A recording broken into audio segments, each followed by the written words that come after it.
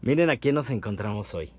Esta entrevista, sabrán amigos que yo ya la había grabado y por güey no la encuentro y no sé dónde está.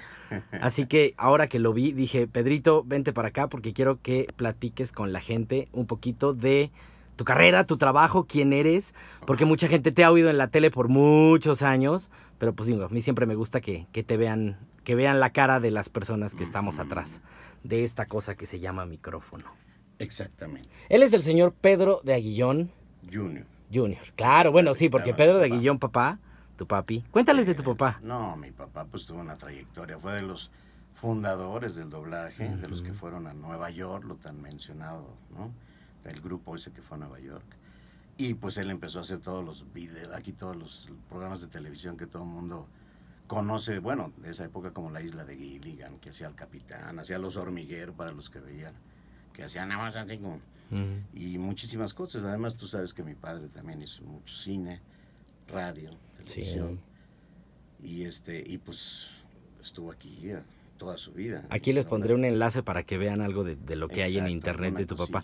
Y de ti, pues cuéntales a la Bueno, gente todo lo que has hecho. Yo, este, pues, eh, yo tengo cuarenta y tantos años, entonces ya se imaginarán, he hecho muchísimas películas, muchísimas series, seguramente me habrán oído en alguna caricatura, en algún programa de, en algún largometraje, qué sé yo. La verdad es que olvida uno. Yo, yo de lo primero que me acuerdo de ti, que, que me acuerdo de tu voz de cuando era niño, era en Alf, Ah, bueno, sí, hacía yo a Willy Tanner. Willy Tanner. A Willy Tanner, el famoso Willy Tanner. Es una serie exitosa que, Sí. y todavía la pasan a veces por ahí. ¿no? Creo que en Daniel el Travieso también. Daniel el Travieso hacía el papá de Daniel el Travieso. Este, bueno, había mm, muchas series de caricaturas como Brave Star, que hacía yo al caballo ese de, de Brave. Star, que se llamaba 3030, creo. Y así he hecho tantas y tantas cosas que luego me preguntan y no sé qué contestar, porque no sé ni qué he hecho. Pero bueno, ya tengo muchos años en esto, muy contento, me gusta muchísimo.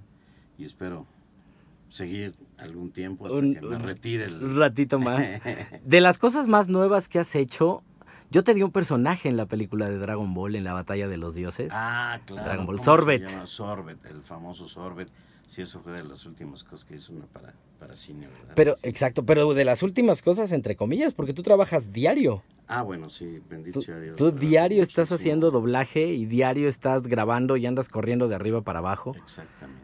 Ahorita, estamos, ahorita muchísimas estamos haciendo una caricatura que se llama Dot, una caricatura nueva que sale en Nat Geo Kids y te llamas Sherman. el señor Sherman, el vecino. Sherman, el vecino. Un personaje bien bonito. Sí, sí, pues bendito sea Dios, este, todavía. Pues muy bien, sabrás, Pedrito, que hay mucha gente que, que, que nos sigue, que sabe quiénes somos y que, que quiere saber de, quiere conocer nuestras caras. Y es por eso que hago estas pequeñas entrevistas. Pues mándale un saludo a la gente que, que te vea, que, que ya te conoció. ¿Hay algún mail a donde te puedan escribir? ¿Algún Facebook, algún Twitter, algo público que quieras Pues compartir? no, o nada más le mandas un saludo a la gente? Yo nada más les mando un saludo y este, si me encuentran por ahí en Facebook o algo, pues igual les contesto, porque no, este, no me meto mucho.